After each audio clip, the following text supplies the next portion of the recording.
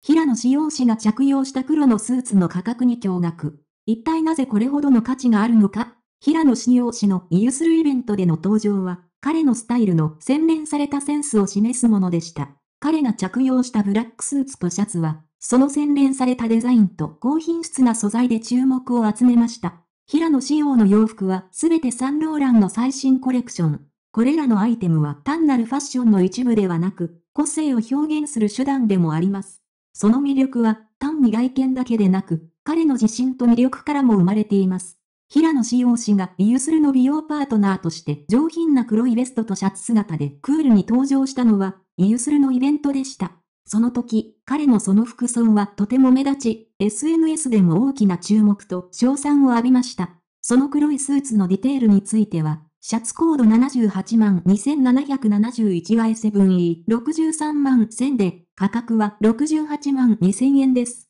このスーツはオーバーサイズのシングルブレスト、ワンボタンタキシードジャケットのディテールが特徴で、ボクシーなフィット感と誇張された肩が印象的です。さらに、サテンのピークドラペルとサテンで覆われたボタンが目を引きます。このユニークな作品はワンサイズのみで販売されており、シルクの裏地、シングルブレスト、一つのボタン開閉、前面にフラップ付きのジェットポケット2つ、胸にウェルトポケット1つ、内側のジェットポケット2つ、隠しボタン3つ付きのピークドラペルスプリットカフス、パッド入りショルダーを備えています。バックベント100%ウールスタイル ID78 万 2771Y7E63 万1000イタリア製です。次に黒いシャツについてです。価格は31万9000でシルクダッチェスサテン製のオーバーサイズのボタンダウンシャツでピン付きの襟、ドロップショルダー、長い袖口が特徴です。このアイテムはワンサイズのみで販売されており、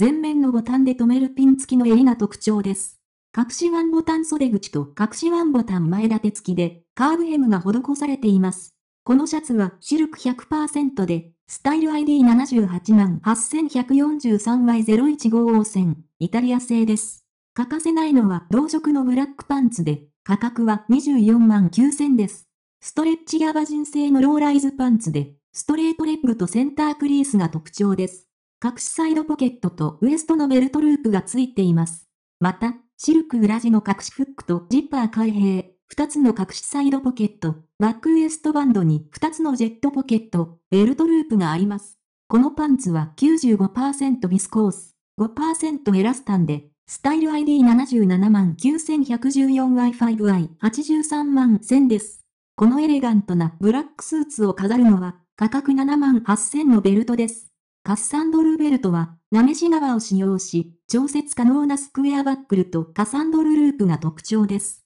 クロムフリー及びメタルフリーのなめし革を使用しており、寸法は3センチ目が1.1インチです。酸化ニッケルのハードウェアで、調節可能なバックルが付いています。この製品はコード55万 4773BRM0E 線で、ラムスキンでも発送できます。スタイル ID63 万 4440BRM0E 線、イタリア製です。イユスルのイベントでの平野仕様紙のスタイリングは、ファッション界における新たなトレンドを生み出す可能性があります。彼のセンスとスタイルは、多くの人々に影響を与え、彼らに自信とスタイルを与えるでしょう。彼の着用したアイテムは、単なる服ではなく、自己表現の手段としての価値を持っています。最後に、イユスルのイベントでの平野信用氏のスタイリングについてどう思いますか？彼のファッションセンスはあなたにどのような影響を与えますか？彼の着用したアイテムのデザインや価格についてどのように感じますか？それらはあなたのスタイルに合うと思いますか？